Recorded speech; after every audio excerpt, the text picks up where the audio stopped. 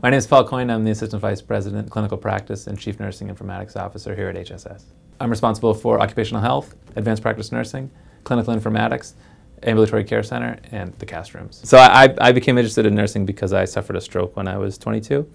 And as a result of the healing process, I discovered that nurses were so, so integral to my own healing that wanted to, one, give purpose to what I went through, and to um, hopefully make that difference uh, for somebody else. My typical day consists of checking in with my direct reports, rounding on the full breadth of the department that I oversee, as well as interfacing with other parts of the hospital. We're a musculoskeletal hospital, but we really succeed at caring for the entire patient. That means caring for their medical issues, their psychosocial issues, as well as their musculoskeletal issues. Everyone in their own mind has a perception of what a, nurse is, uh, and as a result has a perception of what a nursing administrator does. But the role of the nurse and also the role of the nurse administrator is far more broad. The financial aspect, the budget aspect, the patient experience, even the cleanliness, the environmental services, you know, nursing touches pretty much every area in the hospital because a nurse's job is to advocate for the needs of the patient. Historically, there was one device for a call bell, there was another device for communication, pager system,